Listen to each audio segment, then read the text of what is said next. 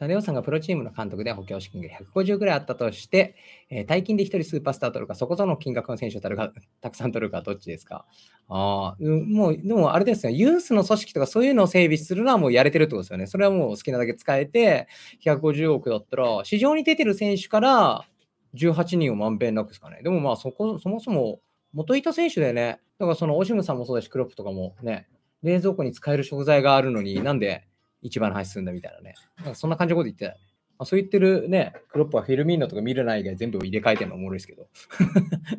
その辺もうまいですよね。そう、だからこのね、例えば、いきなり行ったチームで、17人がめちゃくちゃいい選手ってなったら1人に150億使いますよね。でもそうじゃなくて、18人全員入れ替えなきゃいけないってなったら150億をまんべんなく使いますね。クロップリバブルのペップシティも最初のメンバーと全然違うそう。で、それを言わないで、選手信じてるって言ってやってんのがえげつなぐらいこの辺が賢さなんだよ、正直な話。これをずる賢いっていうか、賢いっていうかなんだけど、これは賢いだと思います、僕は。組織を強くするためには。で言うと、ラングニックみたいに今の選手何人か入れ替えなきゃとか言ってるやつは、もう最高ですよ。